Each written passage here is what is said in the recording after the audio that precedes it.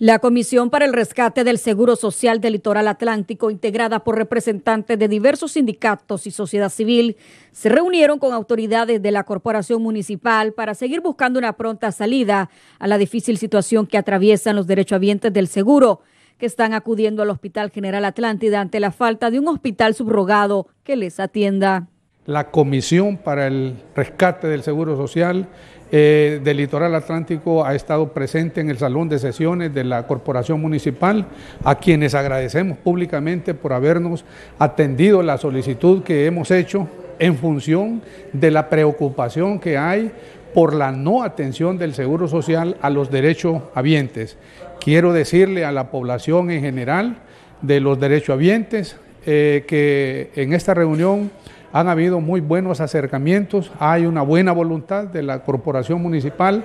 para poder eh, contribuir a resolver esta problemática que tenemos. Ante esta solicitud, el vicealcalde Alejandro Canelas explicó que aunque no están en sus manos, porque no es competencia de la alcaldía sino gubernamental, les apoyarán inclusive, ya que la municipalidad le adeuda al Seguro Social y esto podría llegar a una negociación para darles el terreno donde se construya un nuevo hospital. Hemos eh, tomado a bien esta propuesta de ellos en varios sentidos. Una es apoyarlos como, como representantes del pueblo de la Ceiba, que es casi una obligación,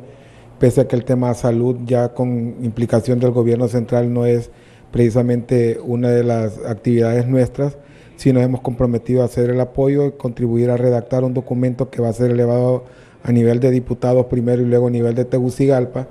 Luego ellos nos han presentado una petición de un terreno que creo que no les compete a ellos,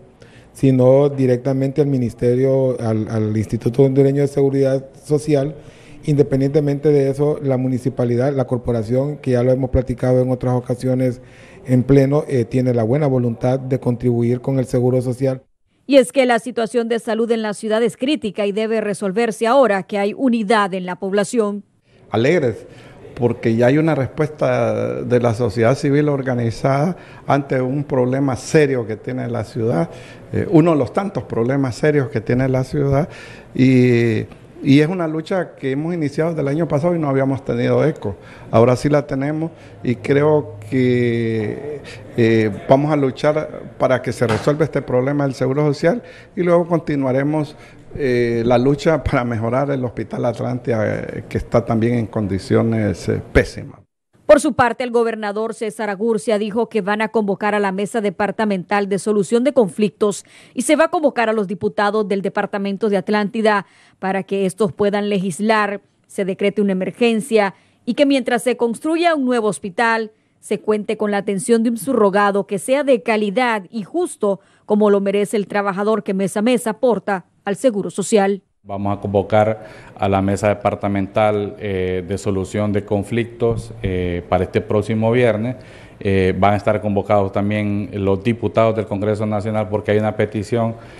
para que los diputados puedan hacer una propuesta y la queremos que la hagan en conjunto, ¿verdad? Todos los representantes, independientemente del color político que pertenezcamos, yo creo que al final lo más importante es lograr la atención para el derecho habiente. El derecho habiente que viene y aporta esa cantidad de dinero eh, mensualmente y no es atendido. Para Telenoticias en Cámara, Josué Romero les informó Ninosca Morales.